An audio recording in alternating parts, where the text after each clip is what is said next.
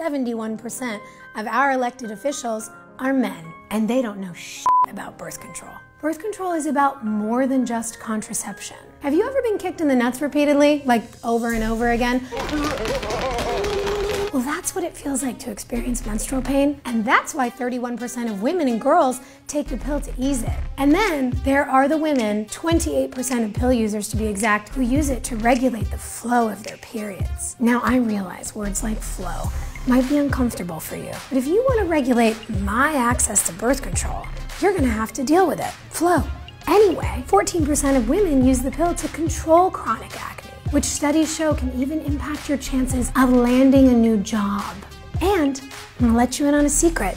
Some women use birth control so that they can have sex without getting pregnant. Newsflash, that's a good thing for those women and also for their partners who aren't ready to be parents. After all, contraceptive access has been proven to reduce abortion rates. Side note, if you are using birth control for fun, consensual sex, more power to you.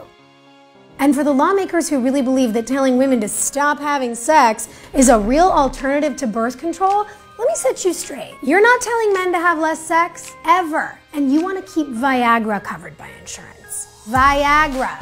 If your fantasy ability to chase us around with your four hour erections isn't up for debate, our contraceptive access definitely shouldn't be either. No matter what reason women have for using birth control, it shouldn't be lawmakers' business or your boss's business. Birth control is basic healthcare. American women already know this, and now you do too. So share this video if you think the Trump administration needs a basic lesson about birth control, and join me to take action with the United State of Women.